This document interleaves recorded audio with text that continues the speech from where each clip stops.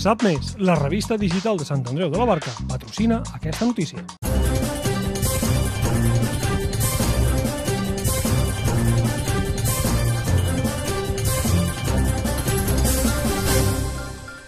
Cinc dies de vaga en cinc setmanes. Això és el que està previst si no s'arriba a un acord entre els treballadors de Ciments Molins i l'empresa. El motiu ens l'explica Gerardo Carallol, president del comitè d'empresa. Bueno, pues la manifestación es debida, debida al, al bloqueo del convenio. Segons Gerardo Carallol, l'empresa vol prescindir amb diverses fórmules d'una cinquantena de treballadors. y al, el anuncio que la empresa nos ha hecho de unos posibles 56 despidos de la plantilla de Cementos Molins.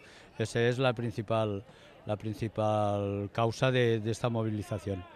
L'empresa, pel moment, ha declinat fer qualsevol tipus de declaració als mitjans. L'aturada d'avui afecta el 98% de la plantilla. Dels 191 treballadors, tan sols el 2% han estat treballant en qualitat de serveis mínims. L'afectació a l'empresa és d'unes 4.100 tones de producte que es deixa de fer per cada dia de vaga.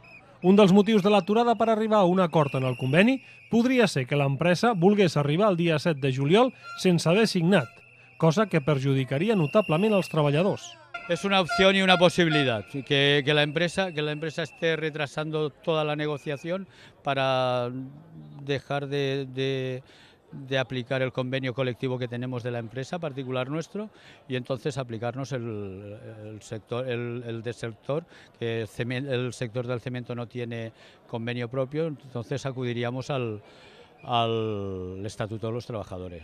Gerardo, ¿qué supondría eso para los trabajadores, esa diferencia entre el convenio y el Estatuto?